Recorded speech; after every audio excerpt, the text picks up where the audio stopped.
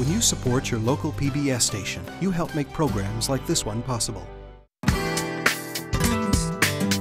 Get ready for Building Green, the show about creating gorgeous homes that are healthier, more energy efficient, and better for the environment. Today we're talking floors and closets. Is it possible to turn a concrete slab into a healthy work of art? Can a dilapidated old sheep barn work again as a second floor? Is it possible to build closets that are great and green? You'll find out today that the answers are yes, yes, and yes on Building Green.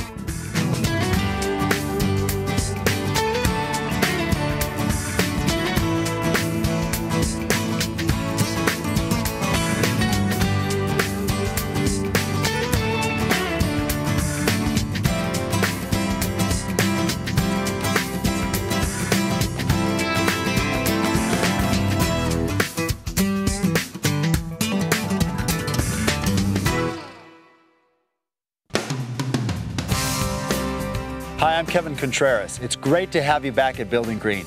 Our straw bale dream home is progressing nicely. The walls are up, completely plastered, and it's time to start beautifying the interior.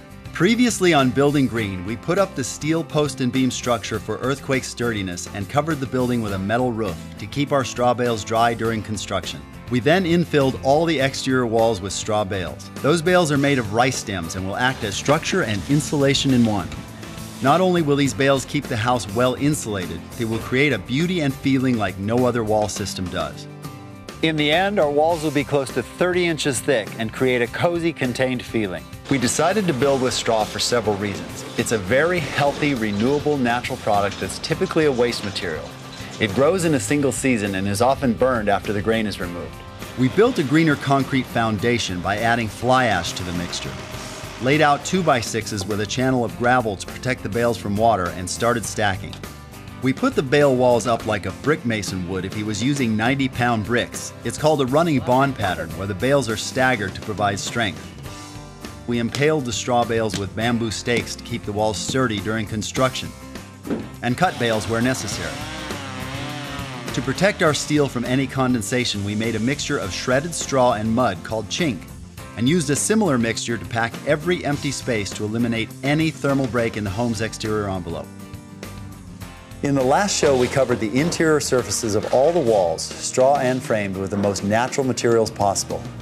On the bales, we put two coats of earthen plaster, a mixture of clay, sands, ground straw, and water. Then we finished those and the interior walls with natural pigment-colored gypsum plaster. The result is an interior that is beautiful and permeable to allow the straw bales to breathe and maintain our health. We also painted our garage and laundry room using non-toxic paints that are safer and do not harm the environment. Our challenge today is to build beautiful floors without destroying the forest or our health. First, we have to finish our concrete slab that is our first floor with non-toxic stains and sealants. Then we have to pick a material for the second floor and finish it in the same way. We want to put carpet in one room. Carpet by itself can be toxic and hold dust and allergens, so we have to find the right product to eliminate those problems. Finally, we're going to build closets, and we want to build those in a way that is economical and healthy to live with. During the design process, I went to see Ellen Strickland at Living Green to talk about flooring options.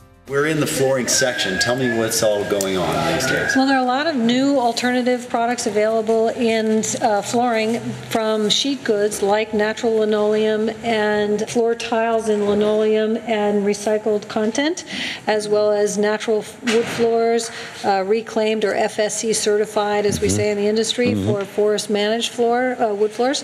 We also have bamboo, palm wood, uh, precast concrete pavers. We have concrete slab tiles tiles, uh, natural carpet, area rugs. We also have some uh, new versions of um, aggregate materials where they actually take recycled glass and recycled marble and stone chips and create sort of a terrazzo effect in floor tile. It's really exciting, isn't it? Yeah, there's a lot available. Finding alternatives to always using hardwood floors or finding things that are actually healthy components to use in the interior home are a good idea.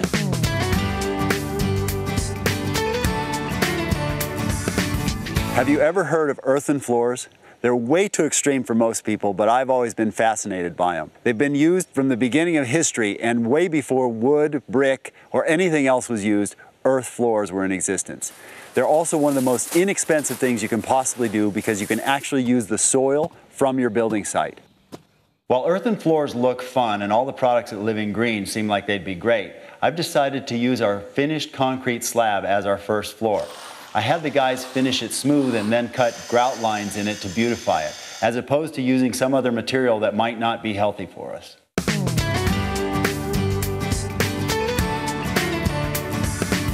A concrete floor is a great alternative. You're using your foundation and of course the the use of fewer materials is very environmentally friendly, but as far as indoor air quality, it's fantastic. People with allergies, asthma, end up not worrying about the allergens like dust mites, household dust, pet dander they get trapped in carpets and in carpet pads. So we don't have that problem at all with concrete. Once it's clean, what you see is what you get. You don't have anything hiding and nothing that could be circulated throughout the environment. Back when we poured the slab, I learned that fly ash, a byproduct of the coal industry, would be the ingredient that would make our concrete greener. I talked to our supplier, Tom Nelson, to give me the full scoop about fly ash. What is now termed as fly ash used to be a waste product. As a matter of fact, they used to dump most of that excess material, that which is captured out of the smokestacks on coal burning plants, they would dump it in the desert, bury it, and it really was a waste product that nobody knew how to deal with. Mm-hmm. And so now we've gone from a waste product to a, to a product that makes concrete more efficient, more effective.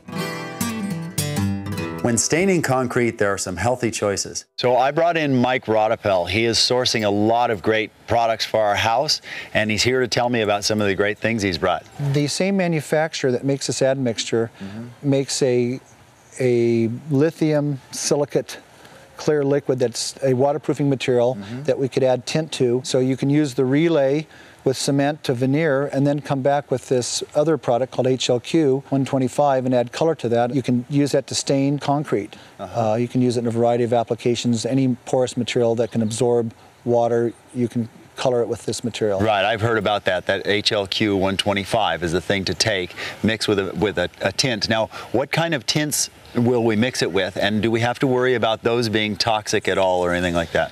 No, you would use uh, any water dispersed colorant that goes into paint, mm -hmm. and nowadays manufacturers are using uh, tints that have absolutely no propylene glycol or any uh, outgassing of mm-hmm. you know any solvents. So uh, powdered colorants that you tint cement that what you'd use in relay and cement and sand. But mm -hmm. for the liquid material, the HLQ, when you want to make a stain out of it, then just water dispersed colorants. And can we get that from you as well, or we have to get that elsewhere? No, we sell that as well. Michelle Arconti is our floor finish subcontractor. She is a pro who brings me the best and safest products. Her guys start by cleaning the concrete surface. We're doing a concrete finish. We have to clean it first with water, uh, staining it with a water-based penetrating sealer called Synac with a custom color, uh, which is a mahogany color first, and then we'll go back over that with a black custom stain of the same sealer. And then the joints and score marks will get grouted and then we'll come back with a uh, natural beeswax finish on top of that and buff that out. The product Michelle used is an ideal sealant that carries a stain, penetrates, and protects the concrete by hardening it. So in the interest of finding a really healthy product to put on our concrete floors, I found Rudolph Reitz, who's come all the way here from Santa Fe, New Mexico, my hometown, to bring us a product. He's actually developed a whole line of products for our houses, but he's got a hard wax in particular that we can use on this floor. Thank you for being here and, and tell me about your product. Well, thank you for inviting me. Our hard wax is a, a traditional product in a high-tech form. And we've gone a little bit of a step further. Uh, we've taken out the turpentine. Turpentine is a rather smelly proposal. We're using citrus extracts. And then we uh, use carnauba wax for extra hardening. And we also use a little bit of linseed oil to make it more waterproof. So the whole idea is just add this very, very lightly all over the floor. It's a real nice, pleasant smelling product. It's not gonna knock you out. It's not gonna chase you out of your house for uh, days in a row. Smells good, so doesn't it? Smells smells great actually, mm -hmm. and nothing harmful in here for nothing us. Nothing harmful, no. Oh, that's great. Okay, well I look forward to getting it all finished.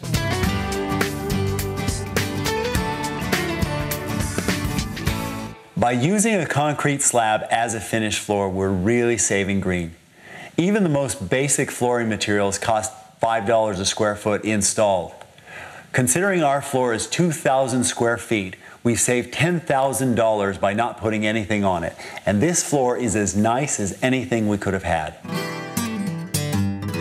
After all that talk about leaving the slab clean, we've decided to put carpet in one room of the house because my daughters and their friend have begged me for a place to have sleepovers. Please!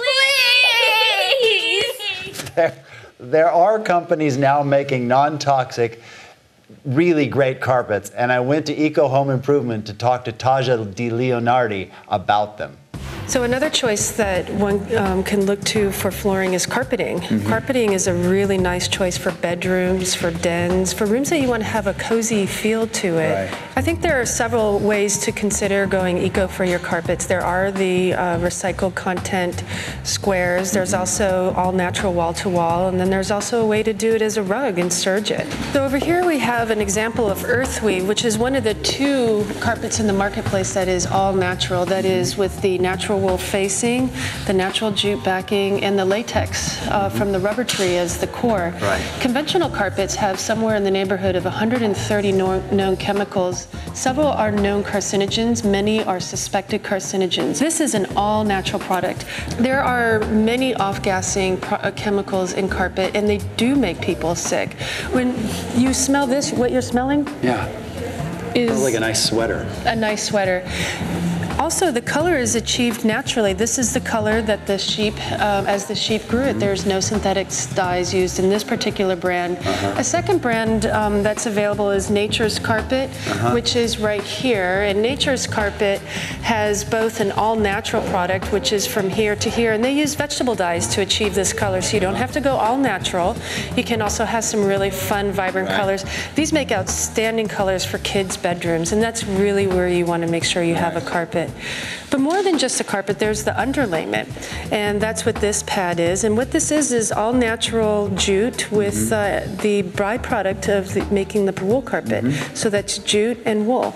And, and normal pads or what? It's uh, usually, you can, if you think back, the Yeah. blue, green, crumbled amalgam of plastics and synthetic products. That's Yeah. what usually that is. Also very smelly. Also very chemical Yeah. intensive as well. So what this is, if we um, lay this underneath the carpet, and what it does is create a nice cushion, feels really good underfoot. It creates a nice warm space. I'd say it's an ideal product for a bedroom or any room that you want to create a little bit of a nest. And, and now, all the all important question how do these compare financially in, in cost? Mm-hmm.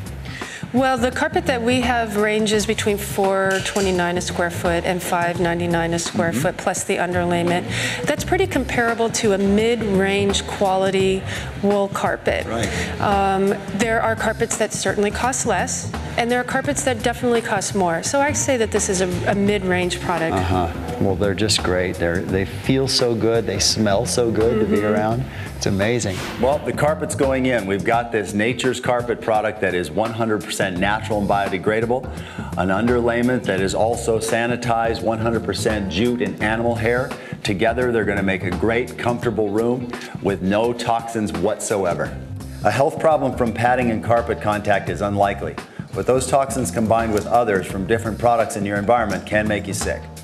Nature's Carpet recommends installation over sanitized 100% natural jute and animal hair under cushion. The carpet we've chosen is nothing but biodegradable high quality wool, natural jute backings, and natural bonding agents. It installs like any other carpet but is safe for children, infants, and individuals with high sensitivity to toxins in our surroundings. This color is what naturally came off the sheep's back. Well, girls, you were right. We got our carpet! And it's great. It's really nice and it feels terrific. Slumber party! Party! Having finished our first floor, we have to turn our attention to the second, where for now we just have plywood sheeting. If we really wanted to be green, we'd leave it just that way. But we want to add something nicer, and of course, we have to add our tubing for our heating system. Hydronic or radiant floor heating is a method of heating a structure with the heat concentrated in the floor. It works by embedding special tubing in a concrete foundation or the plywood subfloor. Heated water flows through the tubing, warming the thermal mass of the floor. The tubing runs can be up to 300 feet, meaning no joints and no leaks. Conventional forced air systems produce uneven heat, with the highest temperature near the ceiling. Hydronic heating puts the heat in the floor under your feet, gently warming a room or a complete structure. This results in more uniform heating with superior comfort. Each tubing run is attached to a manifold that regulates each specific zone within the home, controlling them individually. When designing the house, we attended the Green Materials Showcase in San Francisco to find out about possible wood choices. I've got Daniel Harrington from Eco Timber, and he's going to talk to us about some of the great woods they're doing these days, mostly in terms of floors, correct? Mainly flooring these days, yeah. We started out as a full-service lumber business, but we've narrowed it down to floors nowadays. Um, and we carry a full range of floors from bamboo and other rapidly renewable um, plants like coconut palm um, to recycled woods like this Jarrah here. Right. Comes out of buildings in Australia. I think this particular batch came out of Wool Barns. Wool barns. Wool Barns. It turned out that the lot of flooring from Eco Timber cost us under $7 per square foot. Not bad for beautiful hardwood.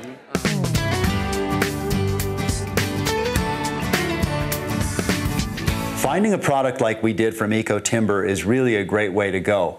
There are all kinds of companies taking apart old structures and making new beautiful woods for our homes.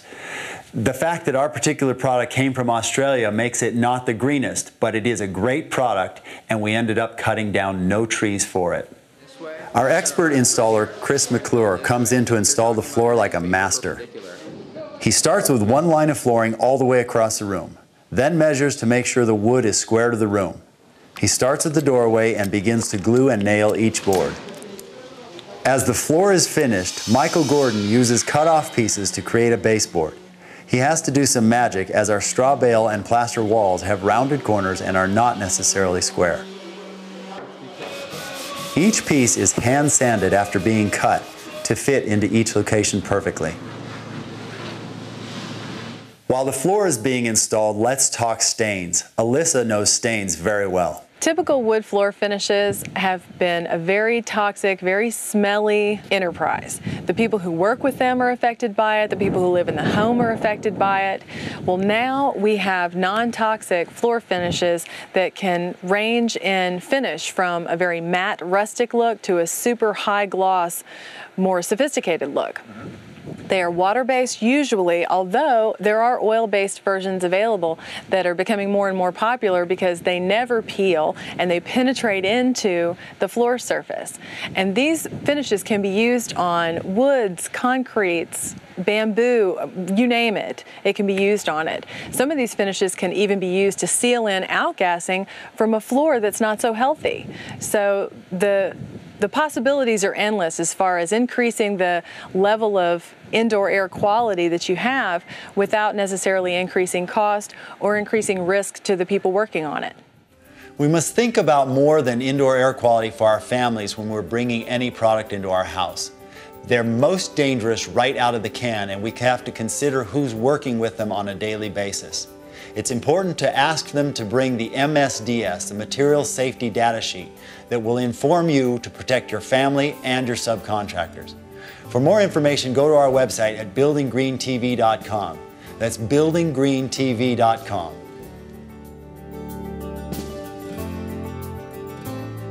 After the floors are stained, a hard wax is applied and then buffed to really bring out the shine.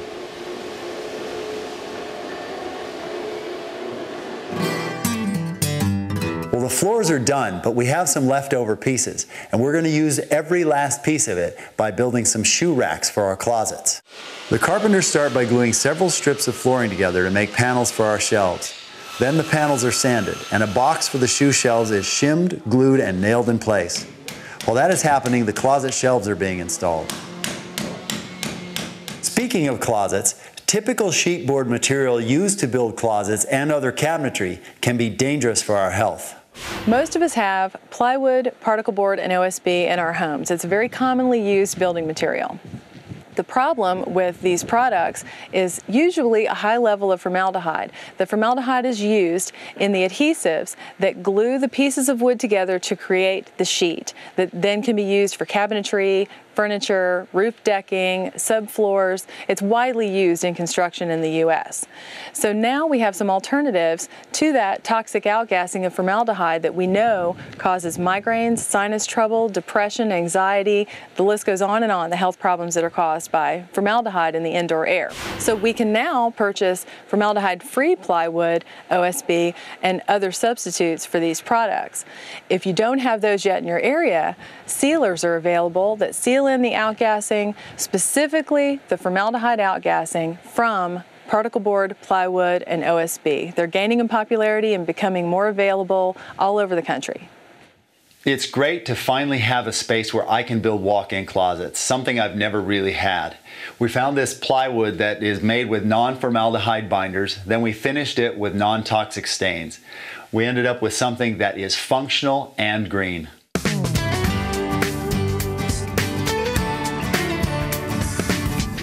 Here's an easy step that anybody could do and probably should do regularly cleaning out your closet. It's essential for your health and it can make a huge impact on the environment. I'm here to talk to Vanessa Grant, who's an interior designer and happens to be very good at doing this for people. Okay, so what's your plan for this room? I'm going to pull everything out and then only put back what she loves, what she looks great in, and what, you know, gives her confidence. Tell me about the health benefits for doing this. It's great to do this for your head. Um, you know, they talk about feng shui. This is the ultimate in feng shui. Um, when you have a cluttered closet, it, you know, sometimes can be a sign of, you know, mass confusion in your head, you know. Clearing out stuff, clearing out old, um, hanging on to things tends to stress us out, and we don't realize it.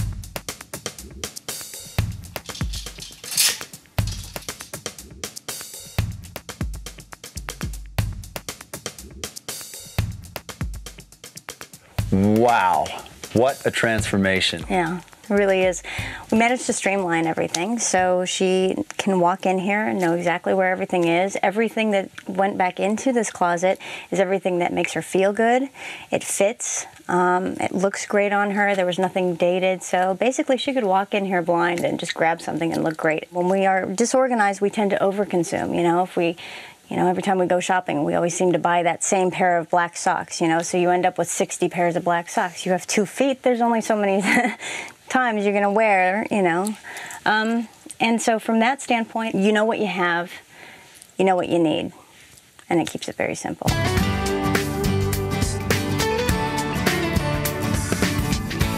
The greenest thing we could do for drawers in our closets is use an antique chest of some sort, but I've had far too many of those that are noisy and don't work all that well. In the interest of saving money and doing something really great, we've done something really unique. We found tool chests that we're going to put in our closets. They work incredibly well, almost silent. Um, we have narrow drawers where we can put socks, underwear, things like that. We have deep drawers where we can put sweaters. It even comes with an upper area for tools that can now hold watches, jewelry, things like that. And one of the best things about it, it locks.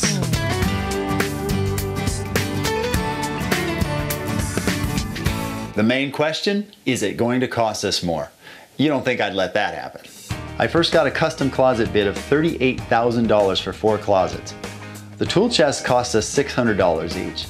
The plywood shelves cost an average of $1,500 for each closet, labor included. We stained each closet for about $300 and added poles and hooks for another 200. At $10,400 for all four closets, we saved some cash, being clever and going green. Well, we did a lot today. Who would have imagined that a concrete slab would turn into such a beautiful floor? Or that an old wool barn would turn into such a beautiful second floor and shoe shelves? We finished both things in non-toxic stains that hurt nobody in the application and will be healthy for our family. Our closets also turned out really well. They're simple and functional without using any toxic stains or glues. Finally, our drawers are going to be really functional. We use tool cabinets instead of manufactured drawers that would cost us a lot more and they're going to be a lot healthier for us. Next time on Building Green, we'll be doing everything electric. Of course, we're adding solar panels to harvest the sun's energy and running the wires through our straw bale walls. We'll be getting an understanding of electromagnetic radiation and how it can affect us. We'll find efficient lighting and add a home automation system to control the whole house. Finally, we'll show you how important it is to install and manage your electrical power so it's safe for your whole family. It's all as interesting as it is important. You're going to build it. Nothing's keeping you from building green. For in-depth information on today's show and to learn more about all aspects of green building, join us on our website at buildinggreentv.com. That's buildinggreentv as in television.com. See you next time on Building Green.